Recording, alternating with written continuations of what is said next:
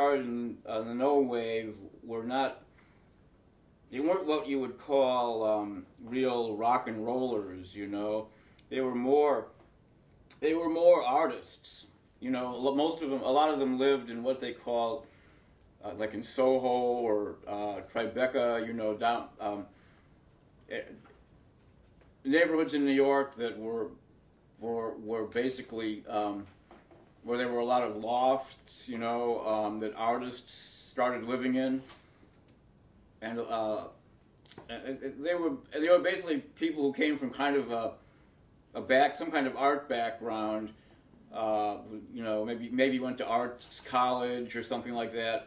Um, and had never really um, had, had never really um, played a music music before, but um, you know they kind of saw what people were doing in punk rock, where where um, you know it was basically you know really untrained musicians, and they and they they thought that they they decided that uh, they wanted to do something with music, and they basically just picked up instruments and and just started playing them, you know, without any kind of um, um, lessons or training or anything like that. You know, they just pick up an instrument and just see what kind of noise they can make with it, uh, almost like an almost like childlike way.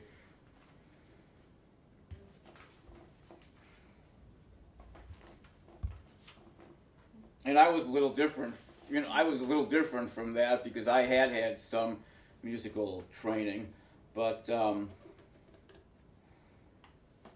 I could I could see like the freshness in it because they didn't they didn't have the uh, preconceptions that that trained musicians have. Um, they they were willing to um, you know use any kind of sound. Uh, well, a lot of music, a lot of musicians would say that's just noise, you know, um, you know, that's no good. Probably Anya Phillips, you know, who, Anya Phillips, who later she who later who became my my girlfriend and my manager. But everybody then, you know, all all the people in those different bands, you know, the one thing that impressed me about them was everyone was so individual, you know, they. Um, like all you know, like the other the other the, the bands from before the No Wave, like Richard Hell or Heartbreakers or Blondie or Talking Heads, all those bands too. They each one had their own identity, their own um, style and identity so so strong. You know, even if I didn't wasn't even if I wasn't that crazy about their actual music, you know. Um, they had obviously put a lot of thought into into what they were doing and and um, and and and it's, it's like a total thing you know it all went together the way they looked the music uh, the way they were on stage you know it all fit into uh, uh, uh one one idea um, and and I, I, that was one thing I was always very impressed with by by all the people on that scene. Well, I never really a lot of a lot of I don't think what I'm doing now is really that no wave. It's got it's got um, that an aspect of no wave, but it's got a lot of other things too that that are really nothing to do with no wave, like the whole you know funk, the whole funk thing, jazz, you know. Um,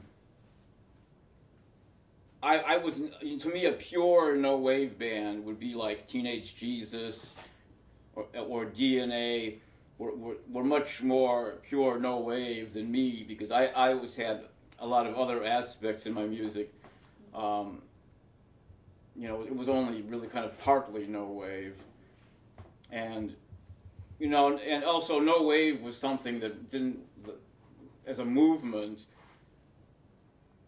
didn't last very long. You know, I mean, most the original bands had all broken up by about definitely by 1981, and and you know most of the people had gone on to, to other things. So, and, and, and another thing is, um, see, we didn't think of ourselves as being no wave anyway. It was something that was made up by like a writer, a writer to, to describe the music. after we already created it. You know what I mean? So I, I really consider myself as as kind of unique. And I don't really want to be, you know, given a label like no wave or, or any other any other like label like that.